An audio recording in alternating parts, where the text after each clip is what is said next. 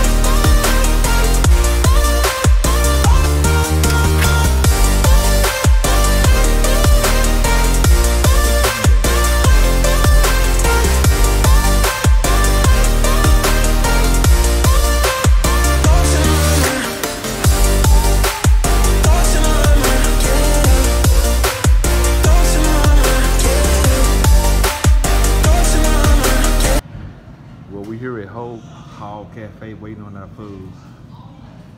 They said it's the best barbecue in Fayetteville. I can see why. Look at all these damn trophies, man. They been kicking people asses in barbecue. Damn. Well, I'm gonna let y'all know how it tastes. Y'all see this beautiful one right here? I'll let y'all in a minute. Everything look good. It look good to you, baby. It looks great to me. I'm